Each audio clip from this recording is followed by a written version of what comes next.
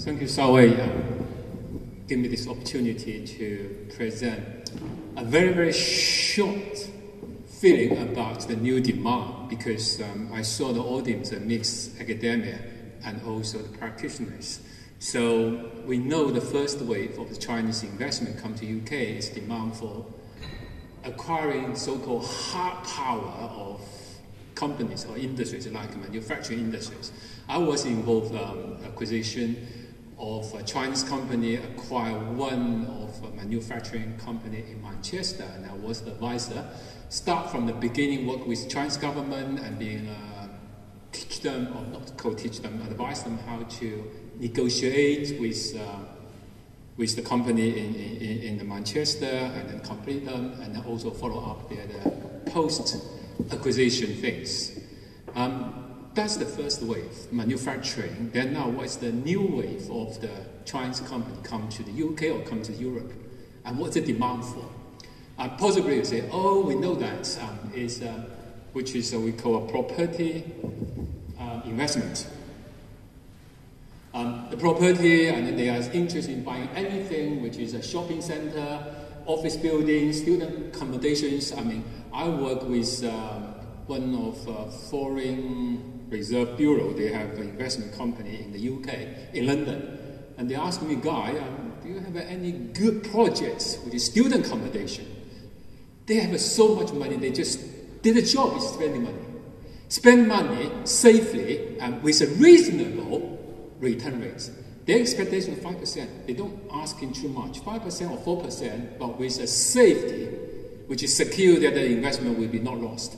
They're happy about that. So they even interested in accommodation and they ask me talking about with Brunel University, do you have any accommodation want to sell or want to invest? We're happy to join. So that's good.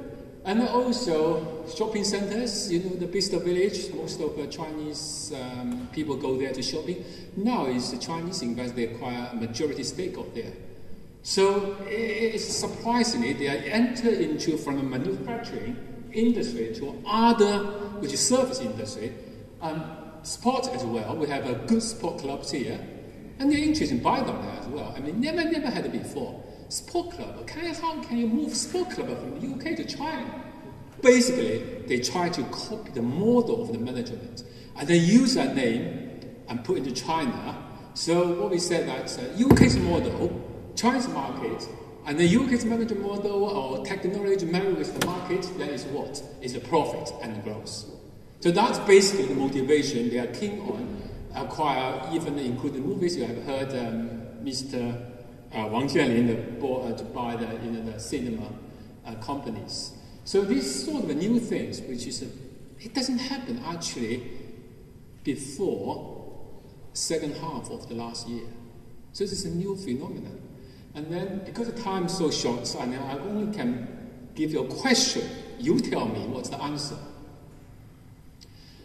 Another thing, before I, I, I give you the robots, Chinese, you know, they have a cheap labor, a lot of populations, but also we know that recently they have a shortage of labor. They are now keen on to acquire any company who engage in the robot research, uh, robots research and, and, and, and the production.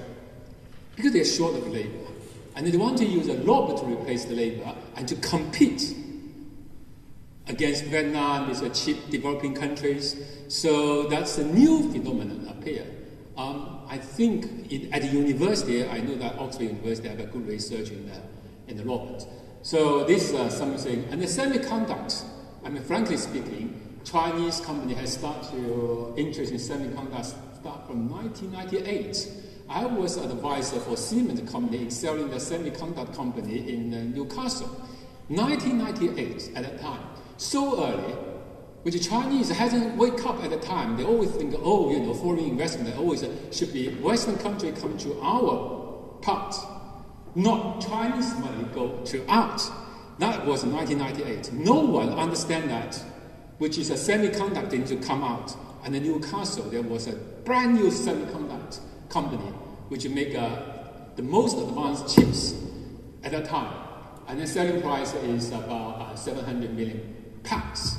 And I was advised for Siemens. Unfortunately, Chongqing government was interested. But for some reason, it was you know, was not successful. The reason it was not successful is because it's a Chinese government, they have something internal fights and, then a result of the failure. Now, you, we have a lot of academic here, including the, you know, the university authorities level, pro vice chancellor level, and, and also pro vice, uh, pro, uh, the chancellor as well, vice chancellor. I ask a very simple question. Are you ready to take Chinese investment at any level? Particularly the education center. You educate the entrepreneur, you educate the company, say how to work with Chinese companies. One day, Chinese company or Chinese private entrepreneurs, they come to you say, I want to invest in university. But I want to have a certain percentage of return, which is reasonable, 5%. Because university is the most safe investment. Have you seen any university bankrupt in UK? No. Do we need the money at the university? Desperately. Then I will prepare to take the investment, particularly private investment. I could tell you that I have a few of the private entrepreneurs. Ask me, Guy, find the university. How do I invest my money to them? How? Are you prepared? If a company is easy, look, this is my shares. I can get this, this uh, accountant firm to value my shares. Then ask a very simple question. Does any UK university issue shares? Everyone knows that. If Northumberland tomorrow got 10 million pounds, I could show that in, in, in the research assessment, which is uh, 2020, he will become one of the top universities if he got 10 million pounds. He can use that to buy best researchers. Everyone knows that. But everyone knows that. Where to raise the money? Where? Particularly UK university, and then we, the UK, as a country regard university as an industry sector. Then, this industry sector has prepared to take foreign investment. I am engaged but still in the confidential stage in these things. And I found that because, because of this thing, drive me to learn the whole UK higher education sector. I'm a professor. Suppose this is not my business. It should be the university uh, top level, you know, understand what mean the degree of voting power and how to get them sort of things. And I found actually we're not ready. Why? Possibly you know why. I leave these things for you to have an open think. Thank you very much.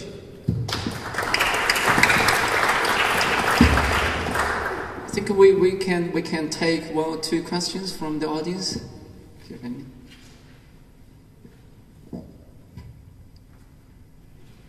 Well, just to say, um, both presentations I think have been very excellent. Well, a lot of energy and passion there. Um, Jeremy, the twinning of the cities, it's kind of curious, having just cycled Leekroon back and passed through, you know, a lot of Dutch and Belgian towns that have got twinning. The concept, the and I, I'm sure I'm right, born after the Second World War to sort of unite us more closely with Europe. And I think, well, I heard the other day that some groups do go between European towns and there is some activity, including here in Northampton. But as a concept, it's, it's kind of time and, and it's passe, it's past. Now, as we leave the EU, it does seem to be a very, very exciting line of development there that you've uh, hit upon. Annie, Annie, yeah, yeah.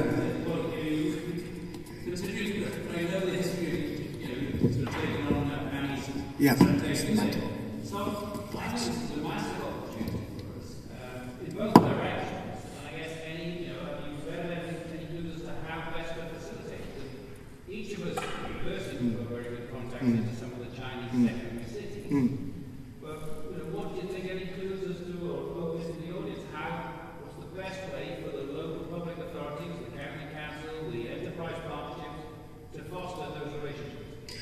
think, uh, I think the, the lesson from this is uh, that it's the human uh, dimension. And we heard that this morning, really, that came up again and again from the, uh, the uh, minister, uh, councillor. He emphasized the, the personal relationship. Uh, I think we heard it also later in some of the presentations. And this demonstrates the real effect that those personal relations can have. So, given that they do have this, uh, this uh, tangible effect, it makes sense to then employ them in a way to achieve some strategic goals. And and I was um, very, uh, I'm impressed with the, the responsiveness, the 30%, etc. This is, these are big numbers. And, and also you see it's a strategy that is on the part of the Chinese cities to do this outward lookingness. And it was a tired concept uh, latterly, not immediately after the Second World War, but it, it, like many things, it's, it's found a reason to, to exist again it's found a new reason to exist, and it is that those personal relationships are very important.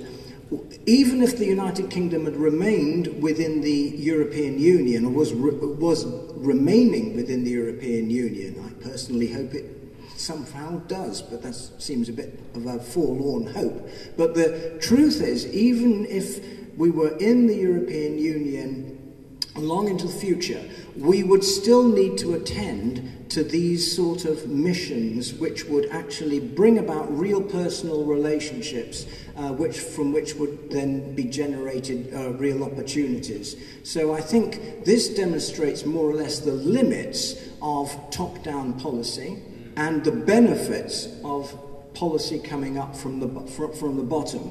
And I think one of the reasons we're here in Northampton today is because of the entrepreneurship that is shown by University of Northampton and its uh, members of staff, not least the one that's walking around in the front here. Um, yeah. Comment on that. And I think two things. Firstly, just the scale of China for if like, a, a, a, company or an area to go to China and find the right relationship is made much easier if you've got a firm relationship city to city.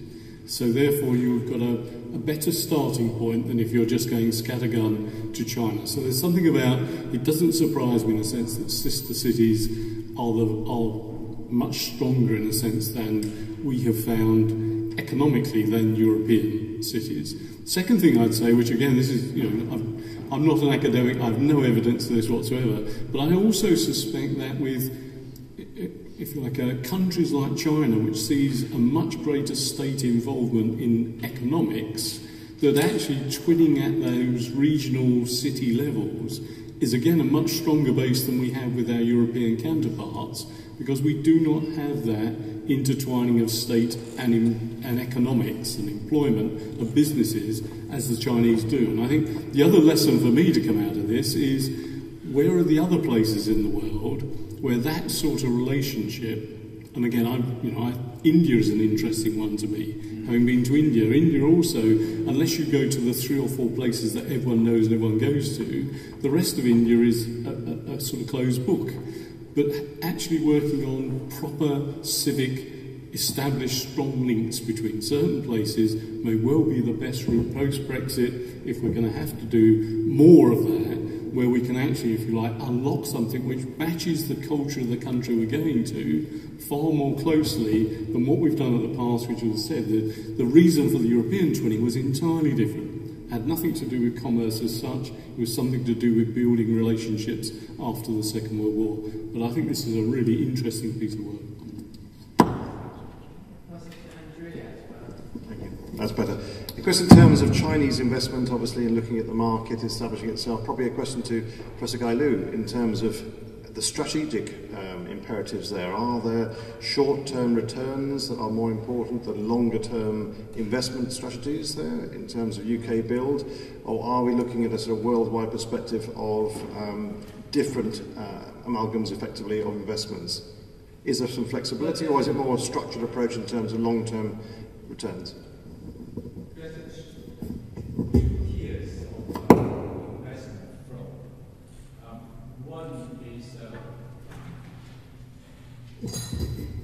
One is government, which is, uh, for example, there's a huge uh, foreign reserve, which is 3 trillion US dollars.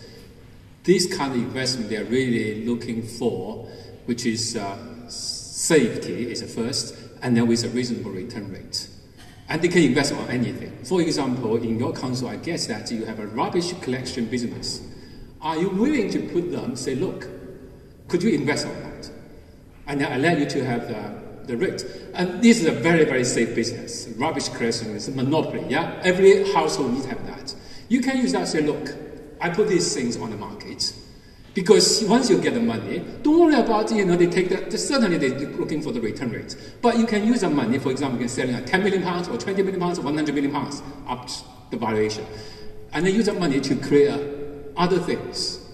So that's make, which is uh, something which is, uh, we are thinking about the second tier of investment, which is much easier to be dealt with and much forward the private investment don't undermine Chinese private investment. I mean, I had been working with uh, Chinese large corporations which state owned. I still working with them. But right now, I found that more and more my EMBA students, all private entrepreneurs, goodness, they don't know how much they have. They come to me, see the guy, look, what sort of investment you can I could have?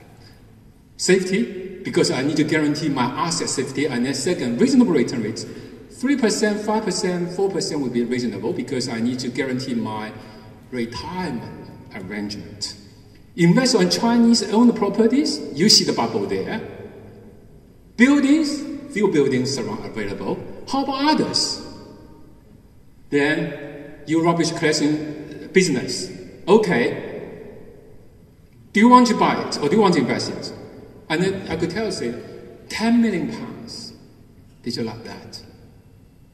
And then sometimes I feel in personal experience, deal with private entrepreneurs, as long as they trust you, the trust is most Chinese, the key determinant about your investment success. If they don't trust you, you forget it. If they trust you, they just say, okay, I trust you. You say the rubbish uh, business is a monopoly, just say 10 million, tomorrow, open your, tell me your account number, boom, that's it. As, as straightforward as that. You say invest on the UK university. Tell me how they invest, how they guarantee my return. Is it safe or is it not safe? Any university, as long as they got voting power in the UK, you know that how profitable it is. But how do you sell them? How do you sell them in the, in, in the sense that use the money raised and then to create other things and then growing your university in a much, much faster way? I don't think right now in the UK public sector, public, including university, including a council, some services, well, basically council services are not available. But I do know that some councils, they do have a commercialization of their business. Then are you willing to put that sense to Chinese investors? If you are, we can talk. Thank you.